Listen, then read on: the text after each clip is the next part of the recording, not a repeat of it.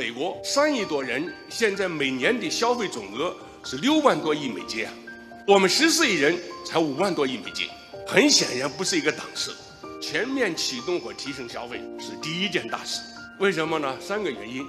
一个原因就是现代化的重要标志是消费水平，消费水平是评价一国家现代化的重要指标啊。现代化差的比较大，所以消费水平代表现代化的指标的，因此必须要全面提升和启动消费。第二个原因就是实际增长的重要的内需是消费，消费起不来的话，整个增长是一起不来的，所以得全面提升和启动消费。第三个就是我们现在四亿中产阶级，要实现啊现代化。那么我们绝大部分要记住中产阶级的比例的，所以要提升已经成为中产阶级的人的消费才行。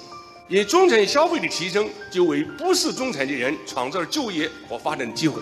所以“十四五”的重要的工作是全面启动和提升消费。